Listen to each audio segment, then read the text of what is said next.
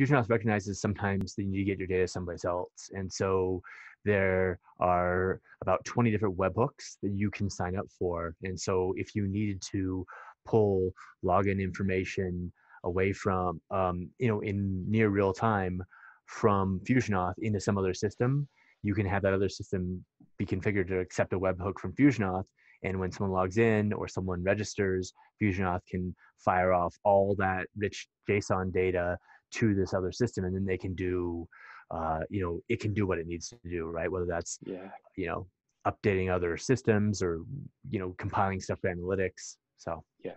So that, that webhook system is particularly useful where you've got a bit of a legacy system like WordPress that has a defined user system. So I mean, um, if you were using something like a Laravel, where you can have your own entirely custom user authentication system and make it work exactly as you want, you're free to use FusionAuth entirely.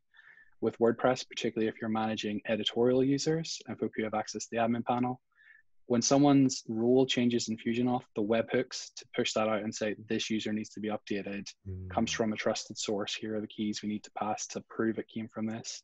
It's a fantastic way of managing that and making it happen. Yeah, I was kind of noticing that during your demo. It was bi-directional, right? That's mm-hmm. what it appeared to be. Which and so you implement that using webhooks as part of it. Yeah. That's awesome.